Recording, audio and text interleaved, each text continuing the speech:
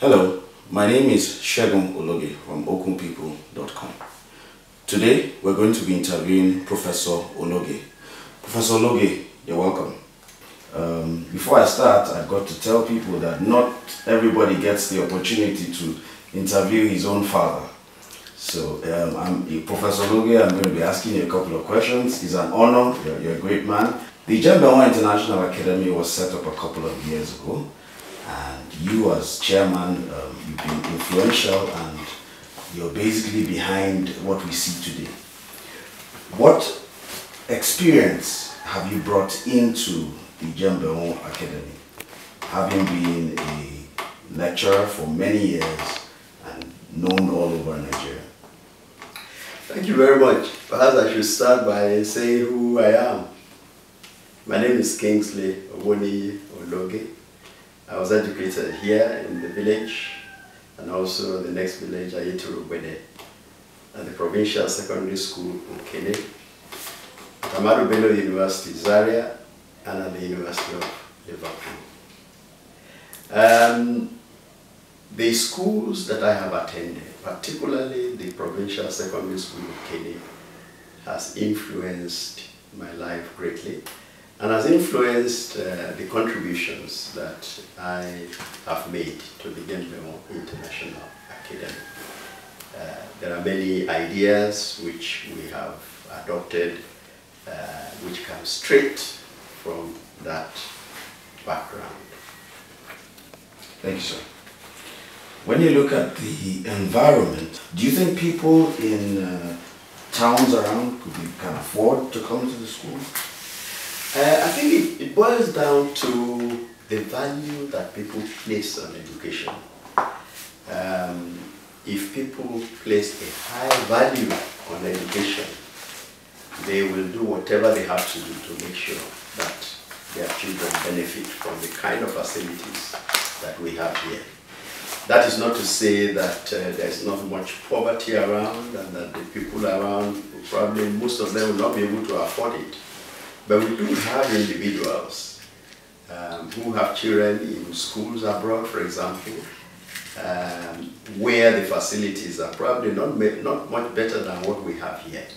And so it's a question of people knowing the facilities that we have and wanting to put their children there. There are Nigerians who can afford uh, the fees that we char charge in this academy. Going around the school, uh, we met a couple of students who spoke, told us about the school, and uh, they say it, it, it, to them it's like a home. I mean, it looks like home. And how did you manage to achieve this? Most schools in Nigeria today uh, probably don't look at the. They look at the children more as uh, uh, it's more business than, than than parenthood. But in this school, most of the kids sound like they're really comfortable with the way things are. How did you achieve this? Well, I'll have to say that uh, when we were about to start admitting students, uh, the proprietor, the proprietress, and myself, we recognized that uh, we were not experts in the running of a school and that we needed people who would be able to help us, at least to start. And that was why we decided to invite the Catholic uh, Education Commission to come and uh, provide the management for the school, at least for the first few years.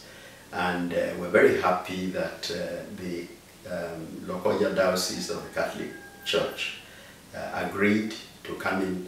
We signed a memorandum of understanding with them.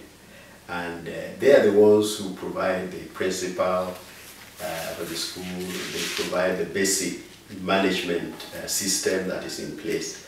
And um, it's because we recognize that these people have a, a long track record uh, of excellent performance in Nigeria and other parts of the world, of running schools.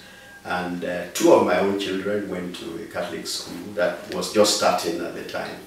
and uh, I'm quite happy with the end result.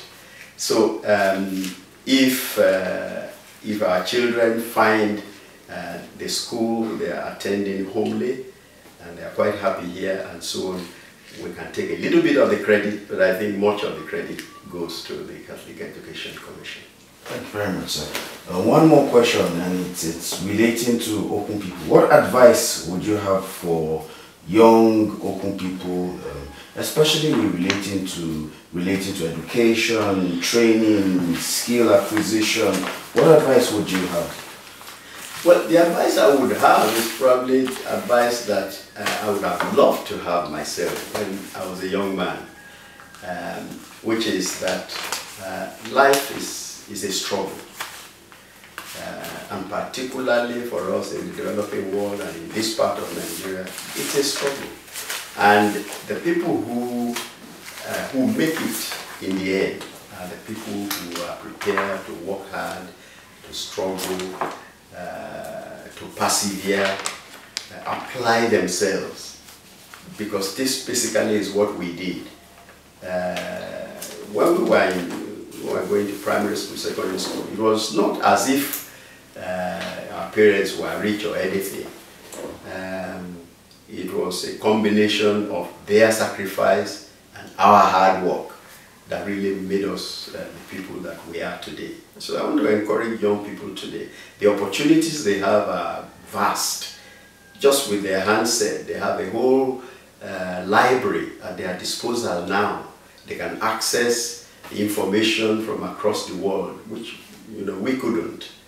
Uh, and I think that um, uh, young people of today should take advantage of this, you know, um, brave new world into which we are, uh, where information can be so easily accessed.